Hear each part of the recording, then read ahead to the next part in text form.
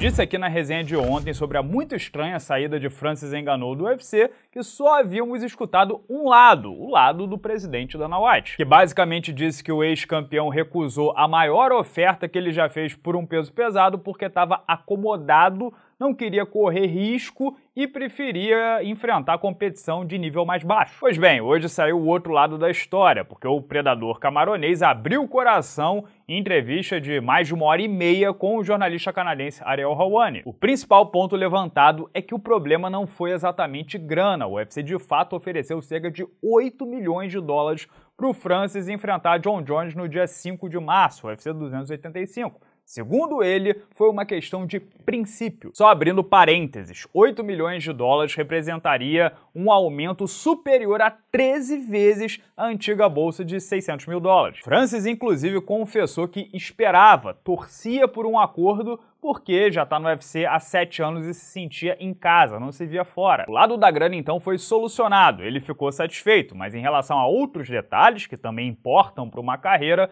não houve qualquer flexibilidade por parte do UFC. Mesmo assim, Francis duvida desse papo de que seria o peso pesado mais bem pago, Isso é um argumento para controlar a narrativa. A gente não sabe quanto ninguém ganha, não provaram nada, então não acredito. Francis queria primeiro um contrato de apenas três lutas, sem qualquer extensão automática. Na cabeça dele, seriam duas contra o John Jones e mais uma contra o Stipe.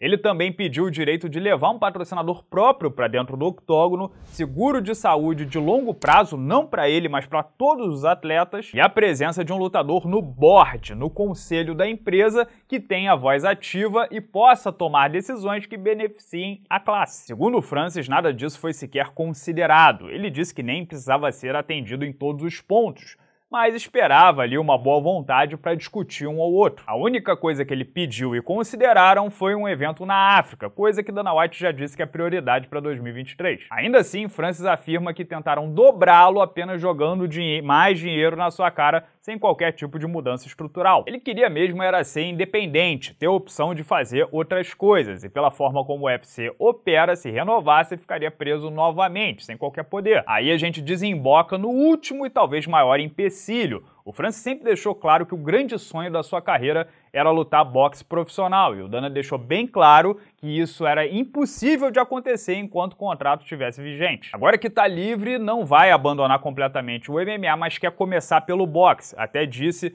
que a estreia provavelmente será em julho e jogou na mesa os nomes de Anthony Joshua, Deontay Wilder e Tyson Fury. Não sei se ele consegue pescar esses peixões, mas é fato que nos últimos dias ele foi inundado por ofertas de todos os eventos de MMA e até uma pública do Bare Knuckle, né, o boxe sem luvas. Sobre Dana White, Francis deu de ombros, abre aspas. Dana é o Dana, não me importa o que ele diz. Ele não tem o poder de me machucar. De onde vim, já passei por muito pior. Ele está expressando sua frustração. Ele não está feliz com a situação. O campeão peso pesado do UFC nunca tinha saído assim. Eu, o que sei é que estou muito bem e tenho um grande futuro. Só para deixar claro, a informação de que ele estava pesando mais de 140 quilos e completamente relaxado fora de forma não procede. O Francis já está treinando há cerca de dois meses e dá para acompanhar facilmente isso no canal do YouTube do cara. Bom, e aí? Ele fez certo de bater o pé, recusar tanta grana para manter os princípios, ser tra tra tratado da forma como gostaria e tentar mudar o esporte? O empresário do John Jones, Richard Schaefer, por exemplo, acha que o cara cometeu o maior erro da carreira dele. Seu treinador, Eric Nixick, não escondeu que ficou frustrado pela luta do John Jones não ter materializado, mas apoia o desejo do amigo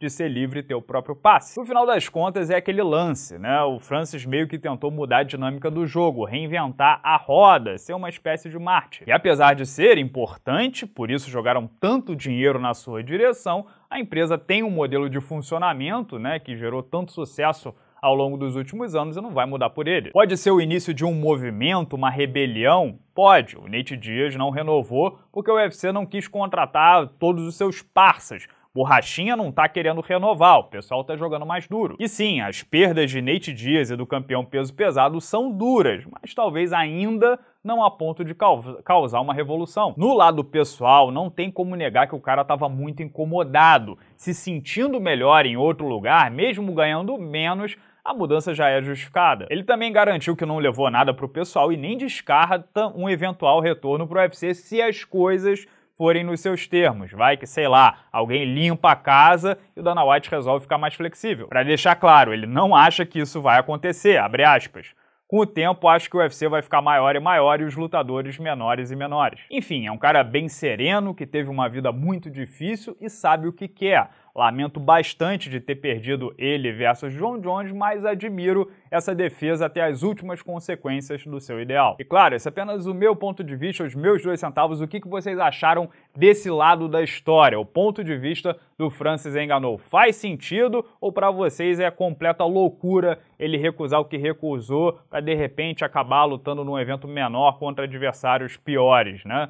É, quero saber a sua opinião, se ele fez certo, se pode acabar vencendo de alguma forma. Comentem livremente aqui embaixo no vídeo. Se inscreva no canal para não perder nenhuma resenha. Não esquece, por favor, de clicar na mãozinha positiva aqui, que o nosso engajamento está voltando aos poucos, mas ainda não é o mesmo de antes dos strikes, beleza? Não percam também a última resenha aqui do canal, que foi sobre o casamento John Jones versus Cyril Gunn, que vai valer o cinturão vago do peso pesado, vago pelo Francis Enganou. Como é esse casamento? Quem eu acho que é o favorito? Você clica aqui do lado e confere. Um grande abraço a todos, obrigado pela audiência de sempre e até amanhã.